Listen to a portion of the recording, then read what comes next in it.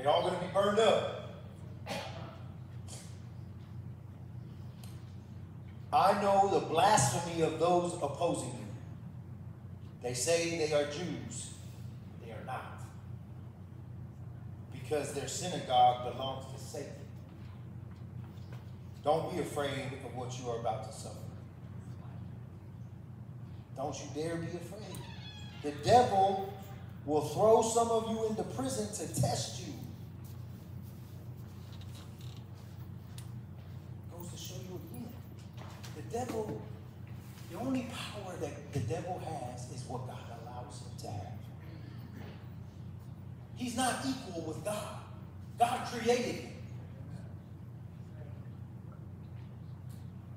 And how he operates, God allows him to do those things.